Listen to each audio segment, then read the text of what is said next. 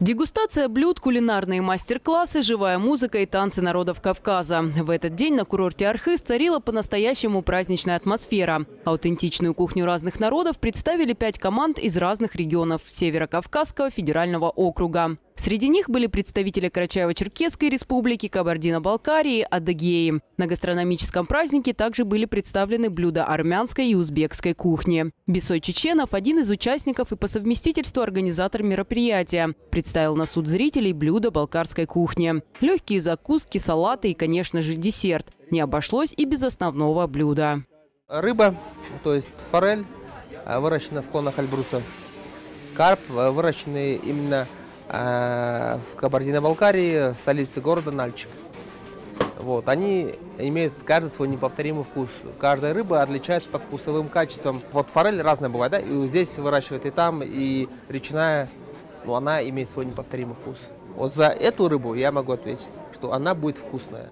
По словам организаторов гастрономического праздника, основная цель была рассказать и показать все прелести аутентичной кухни разных народов. Ведь именно через еду можно продемонстрировать все лучшие обычаи и традиции любой национальности. К заданию все участники подошли с большой ответственностью, чем, безусловно, порадовали всех гостей праздника.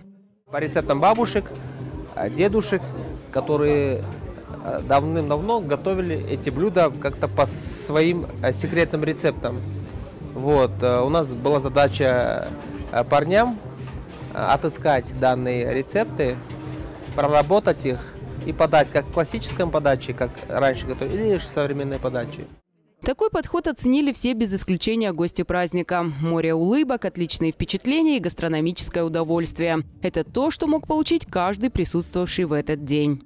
Наелись от души, очень много попробовав разной кухни. Молодцы все, молодцы. Прям вот каждому можно подойти и сказать, что красавчики, мастера своего дела.